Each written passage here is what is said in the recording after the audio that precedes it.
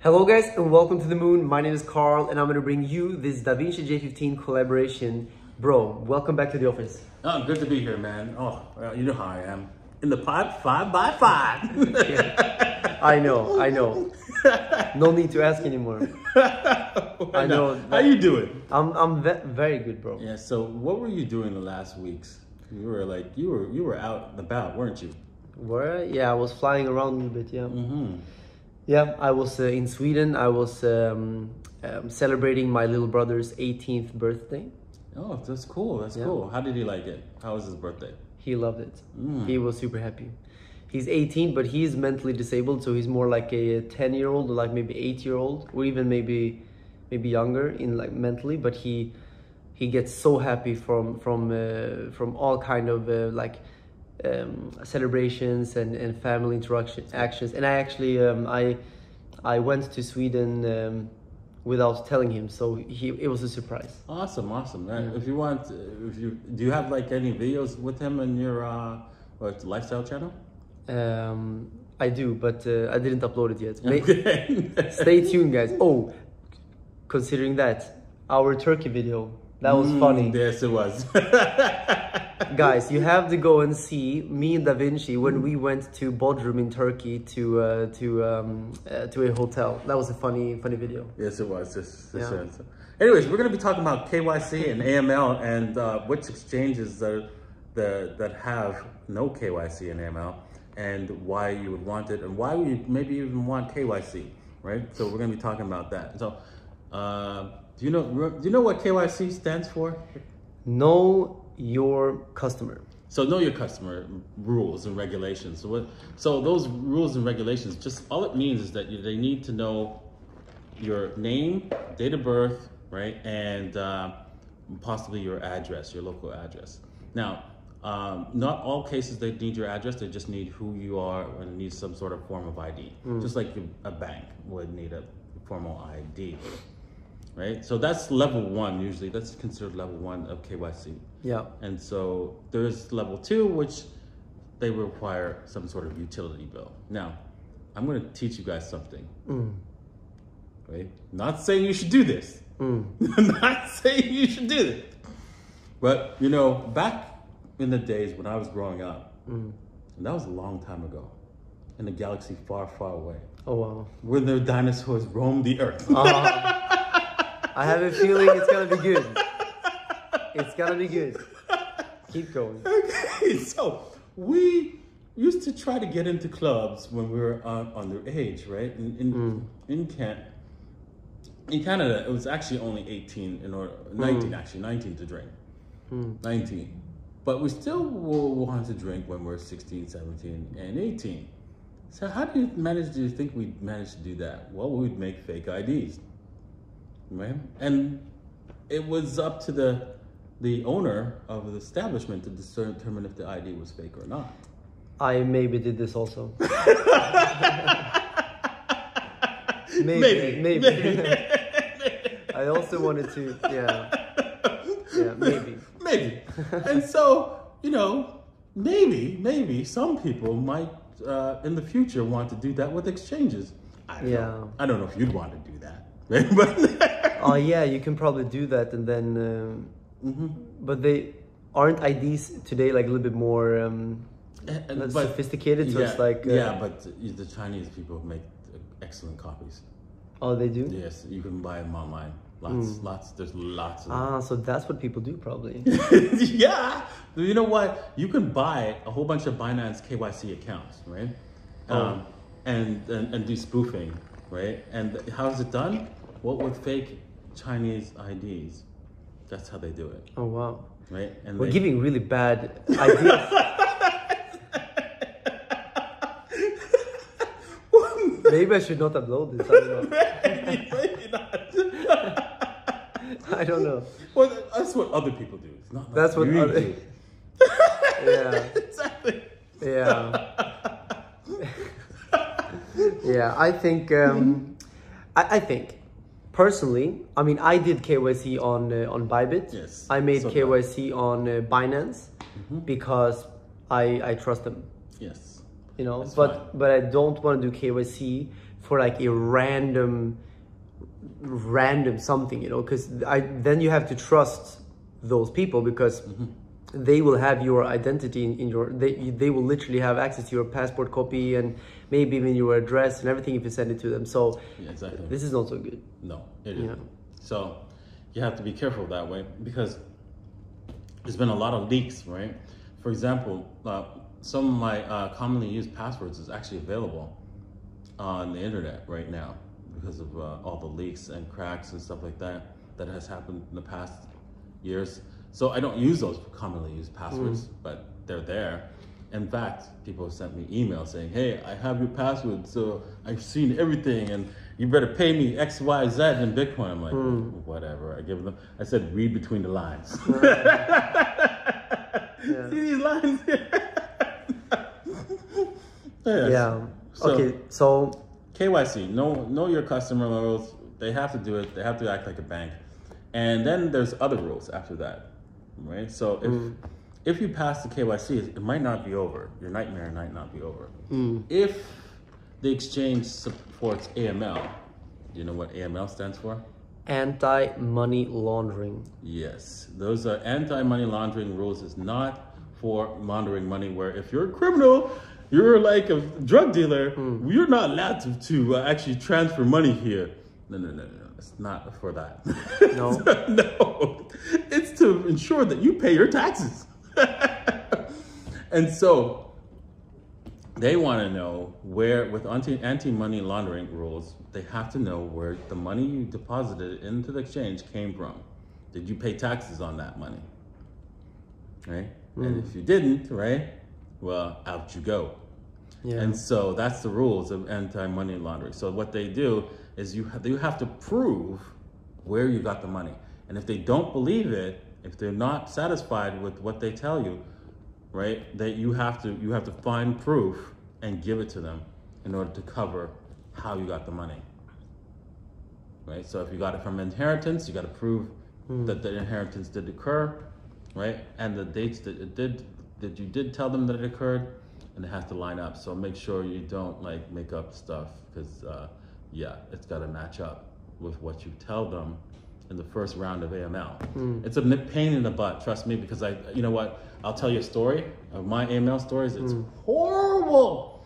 The Bittrex, the, the, the, the exchange that is now bankrupt, Bittrex Bittrex. Bittrex Yes, got bit wrecked. I remember them. So they they were around like in the very early stage Exactly. when I jumped into crypto, like 2017. That's where I was buying shitcoins.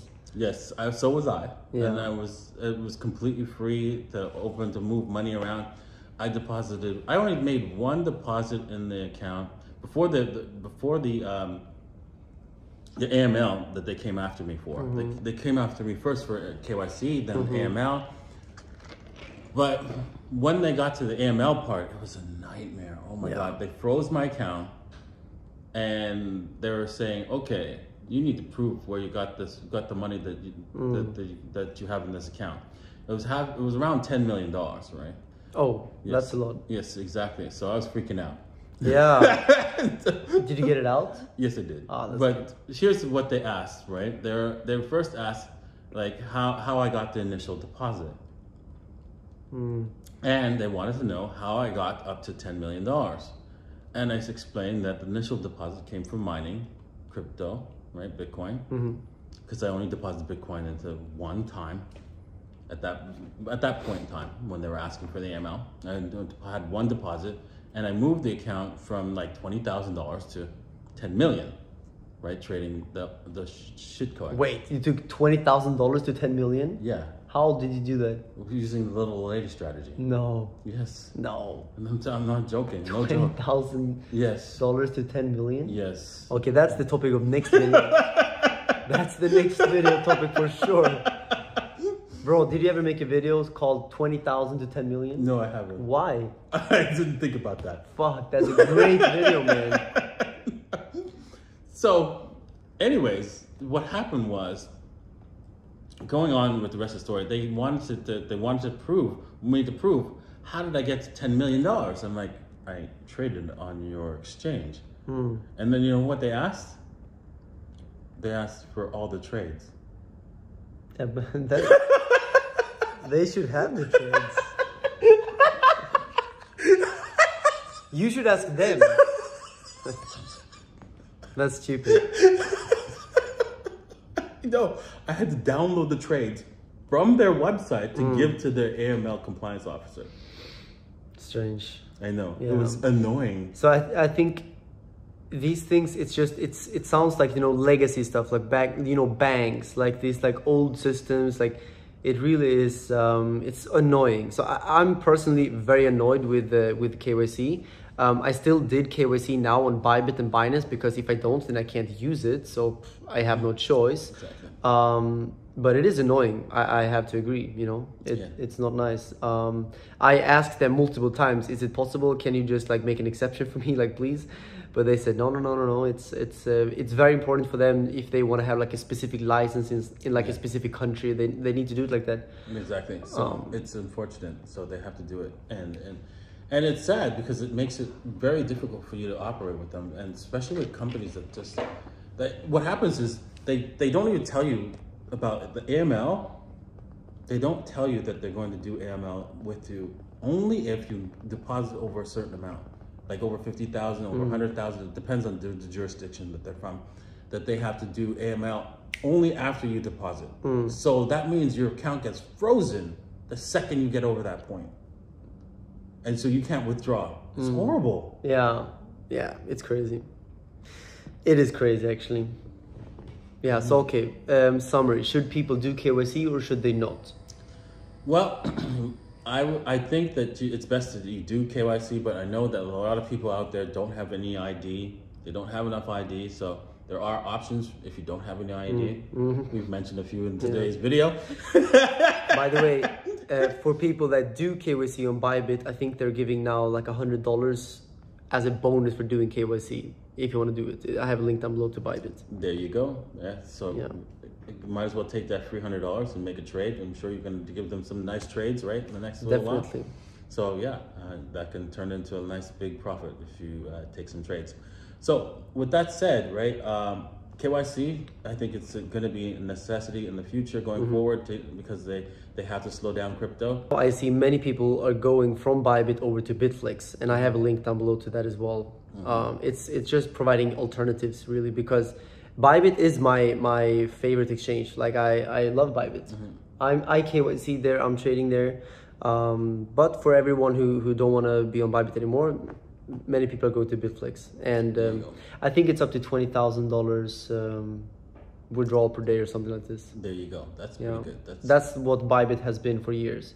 But now Bybit, Bybit is doing KYC uh, upon sign up, which is like very early stage KYC. It's um, yeah, makes it tough for, for people to to trade if they. Uh, Yeah. It is what it is. have they done AML on you in Bybit yet? I don't. You know, I don't- I don't because they so. they'll ask you where you got the money. Yeah, no, they didn't do that actually. They only uh, did a full KYC, like uh, passport, um, address, and and all of that stuff. Yeah, yeah, Yeah. Wait until they do AML. That that's going to be a nightmare if they ever get to that. You think they will do that? They probably will have to eventually if they want to move up the ranks, right? Mm. Of uh, in, in Does like eToro do that? I I don't know. I've never used eToro. Because they're like fully regulated. They probably do. Yeah. After you put put in a certain amount of deposit, Yeah. they will ask you for okay, where to get the money. Yeah. Yeah. That's just the way it is. Just just the way. it is. hmm Some things will never change.